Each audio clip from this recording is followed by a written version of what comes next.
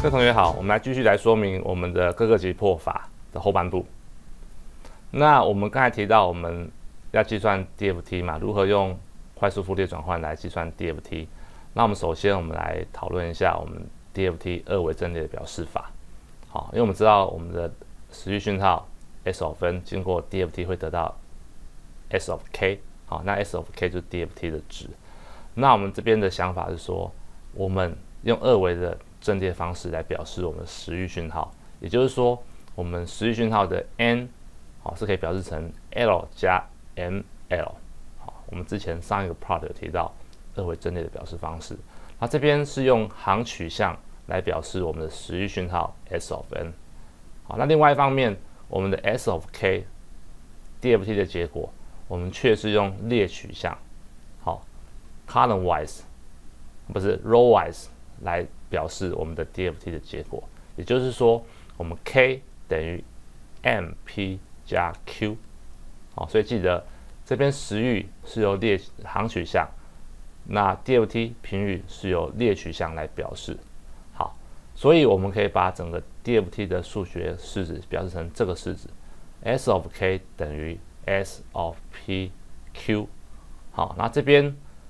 DFT 的部分，我们就可以用列取向来表示嘛，好，所以我们把整个 DFT 的数学式子写下来，然后这边 Wn 就是等于 exponential 负 j 二派除上 n，好，n 是代表 DFT 的点数，好，那这是基本的 DFT 的数学算式，那我们这边注意到，我们这边 n 是等于 l 乘上 n，l 乘上 n，好，那我们再来看，当我们定义完这个。把这个 DFT 的式子写下来之后，好，我们继续来写。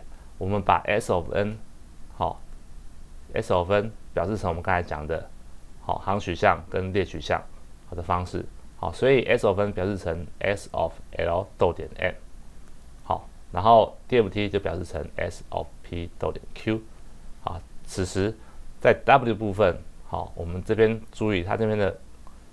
K 跟 n 同时也是把它换掉，因为我们现在 k 跟 n 都可以分别以行取向跟列取向来表示嘛，所以 k 跟 n 都可以换掉，好，换成二维阵列的表示方式。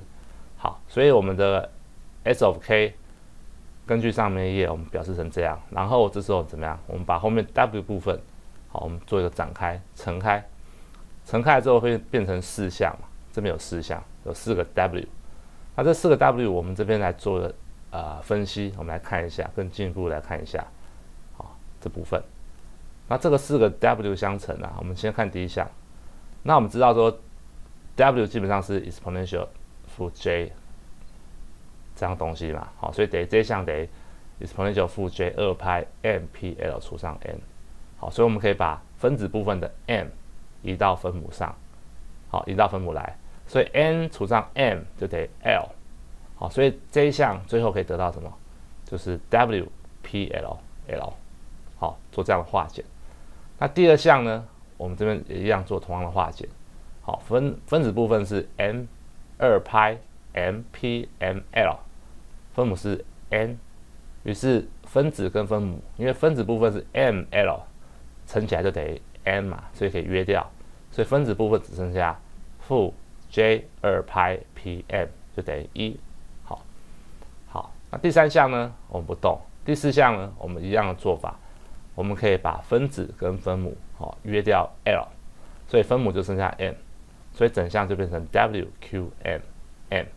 好，那这个四项我们就可以把它化简成我们刚才分别的四项嘛，那再把它带回去我们一开始的式子。好，我们一开始我们的 DFT 的表示法是变成这样。好，接下来我们把这个式子我们怎么样整理一下？怎么整理呢？把这一项搬到后面去。把这一项搬到前面去，把这一项放在这位置。我们做这样的顺序的颠倒以及配置之后，我们再来看这个式子。那从这式子我们会看到一个东西呢，就说我们从最里面的挂号里面看到说，它基本上是一个 m 点的 DFT 的运算。好，所以我们知道说它就是个 m 点 DFT。然后它基本上我们把这个括号里面的这个值啊，我们定义成 f of l 逗点 q。好，它是个 m 点的 DFT。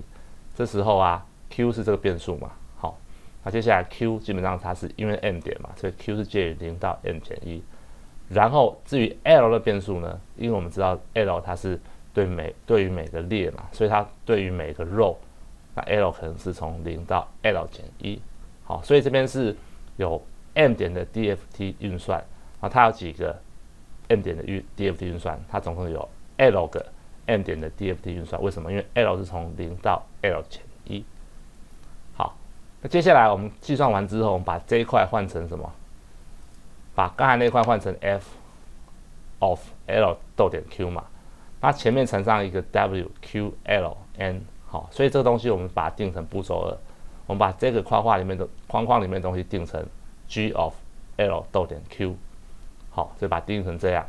那这时候它 l 可以从零到 l 减一，q 可以从零到 m 减一，所以在这个框框里面，它总共只有几个乘法，l 乘 m 个乘法器。的使用，这边只有纯粹是乘法，好，这是步骤二。那算完这个，我们就把框框里面东西定成 g 嘛，好，g of l 逗点 q，好。然后第三步骤，我们看到说整个 DFT 的结果就可以变换成这个式子，好，那这式子可以很明显的看到它是怎么样，是个 l 点的 DFT，好，这边变数 p 嘛，它 p 是从零到 l 减一。那同时对 Q 来讲，它是对每个 column，所以 Q 是从零到 m 减一。好，所以这个式子代表是说，我们有计算 m 个好 L 点的 DFT 的运算。好，因为这式子本身是一个 L 点的 DFT 运算嘛，但是对 Q 这变数来讲，它可以是从零到 m 减一，所以这个式子来讲，应该说它计算量是有 m 个 L 点的 DFT 的计算量。好就可以算出我们最后结果 s of k，所以也就是说，我们把原本 DFT 的结果拆成这三个步骤来计算，那这样会得到什么好处呢？我们来看下去。那首先，我们第一步骤是 m 点的 DFT 嘛，总共有 l 个，所以它乘法器的使用是 l 乘上 m 平方，它加法器就是 l m 乘上 m 减一。那第二步骤是只做一个乘法嘛？我刚才提到它是有几个乘法，l 乘上 m 个乘法，那加法是零。那第三步骤是怎么样？是有 m 个 l 点的 DFT，所以它的乘法器是 m l 平方，它的加法器是 m l 乘上 l 减一。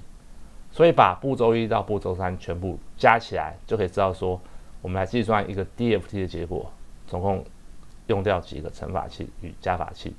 那全部的乘法器就是 n 乘上 m 加 l 加一的乘法器，那加法器是 n 乘上 m 加 l 减二个加法器。好，我们这个数字这个符号看起来，各位可能还没有感觉。我们来给一个实际的例子来看。假设我们来比较一下，我们总共 DFT 的点数是一千点。好，那这边我们设定 l 等于二，m 就相对于是五百嘛，因为 l 乘上 m 就要等于 n 嘛，就等于一千。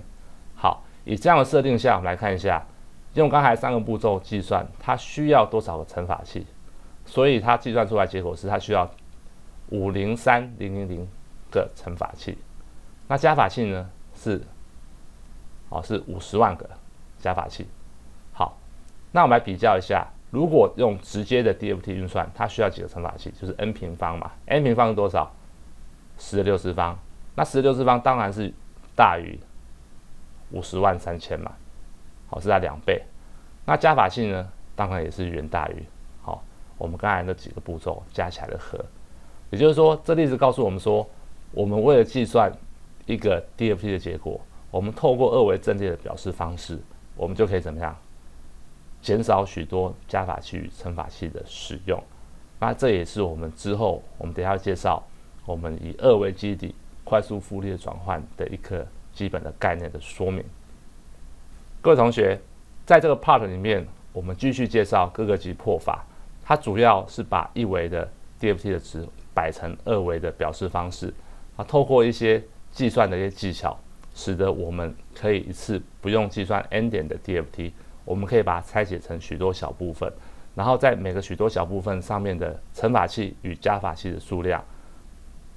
的结果全部加起来也是远远小于一次计算 n 点的乘法器与加法器的数量，这也是各个击破法的主要的概念与精神。